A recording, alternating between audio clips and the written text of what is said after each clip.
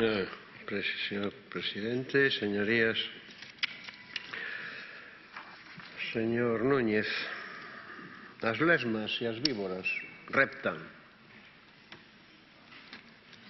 Os seres humanos camiñamos ergueitos dende que pasamos de ser homínidos en xestación a erectos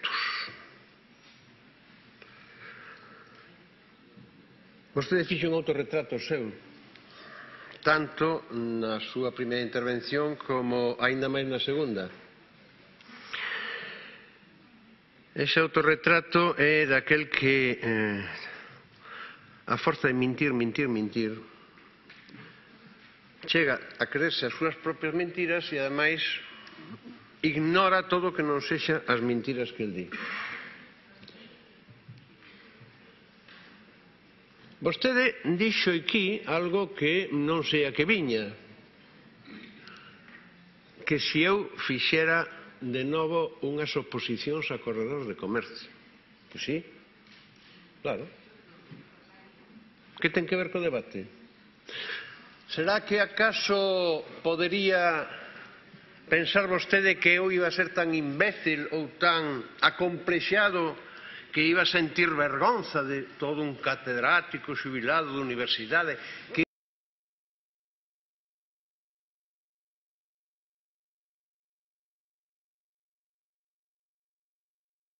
que cando novo fixo unhas oposicións a corredor de comercio? Está vostede na mesma sintonía mental de cando dixera aquelo que eu tocaba o piano como claro Tocar o piano é para señoritas casaderas. Era o que se pensaba cando era rapaz nas familias compostelanas. De clase media.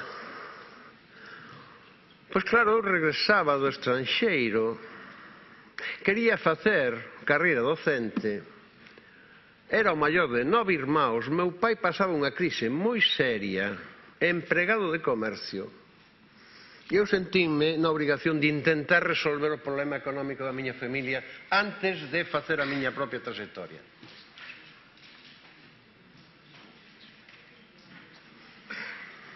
E retireime. E costoume casi dez anos máis chegar a gañar unha cátedra. Entre outras cosas porque estaba fichado por ser estar militando na clandestinidade no Partido Socialista Galego e, polo tanto, expulsado en pecto da universidade. Pero eso non me a conto. Tamén fixen tres intentos de gañar unha cátedra. Dous fallidos de Economía Política e Facenda Pública e outro que finalmente contra pronóstico saiu ben. Sei que aí saiu o Beiras este que se lanza, o Beiras exaltado, o Beiras que arremete contra todo, E sei que eh, contábame Carlos Berzoso, meu amigo, que chegou a retorno da Universidade Complutense que estaba rematando a carreira daquela na, en Somosagro decía era un caso increíble había un profesor noso que se presentaba e nos estudiantes íbamos todos a escoitar o Beiras que estaba trincando o noso profesor. Pero eu nunca fón fixen alterne cun narcotraficante sendo un cargo da Consellería de Sanidade no momento en que no momento en que a drogadicción e o SIDA facían destragos na sociedade galega, como fixo vostede. Vostede sí que sinte vergonza deso, e nunca tivo coraxe de resolvelo.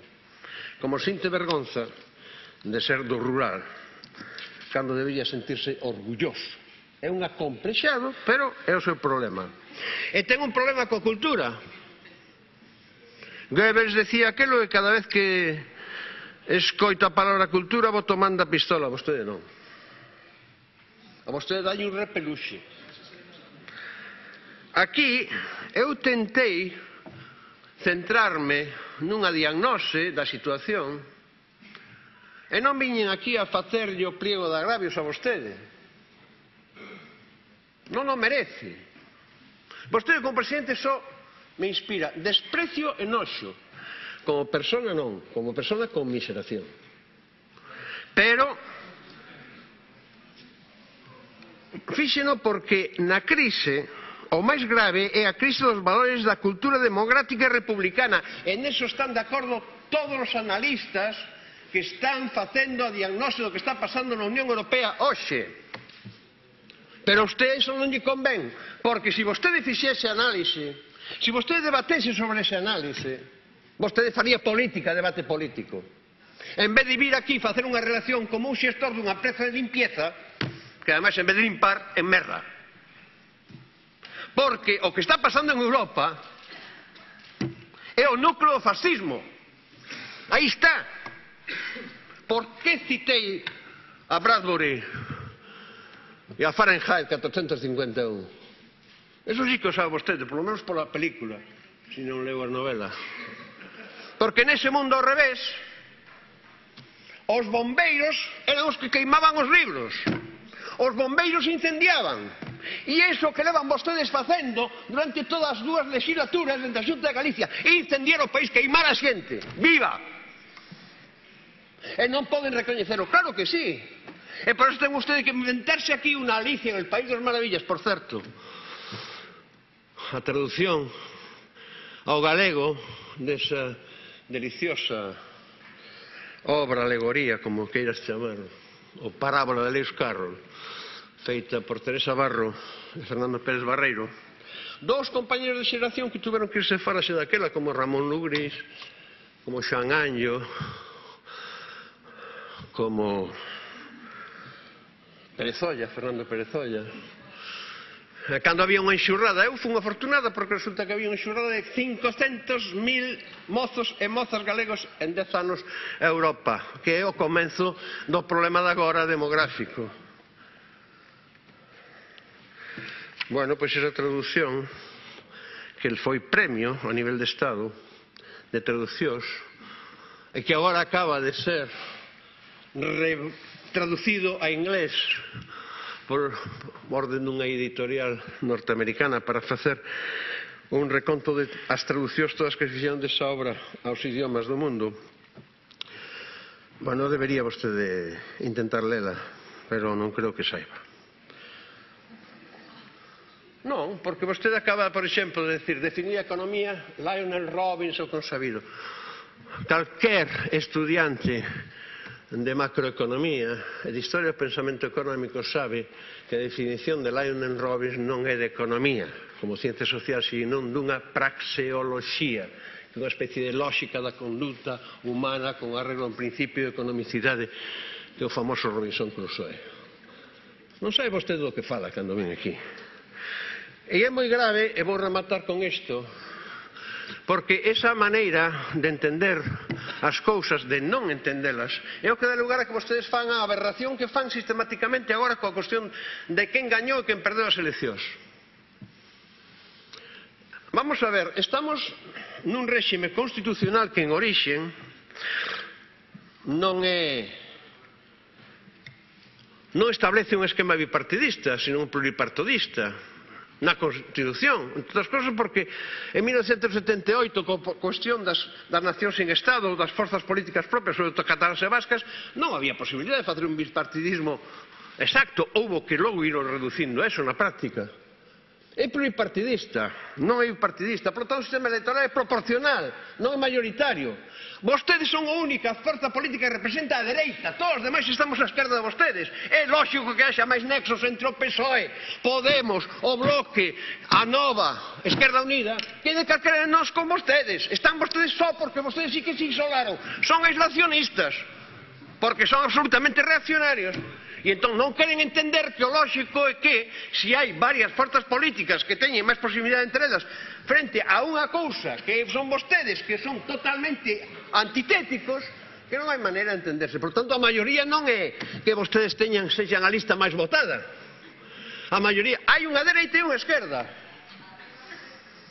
Vostedes están na ultradereita. E a partir de aí todos os que estamos non ali estamos á esquerda de vostedes. Non queren entender, saben por qué? Porque non lles interesa. Porque vostedes, agora, coa súa filosofía de que el pueblo es idiota, non son capaces de asumir porque a movilización dos cidadáns cada vez foi a máis. Porque os gandeiros se mobilizan contra as toles. A nova conselleira, flamante conselleira, increpounos por se mobilizar, por eso fixeron conselleira, claro, para defenderos millón. Veña aquí e demostre que é mentira. Sí, vale.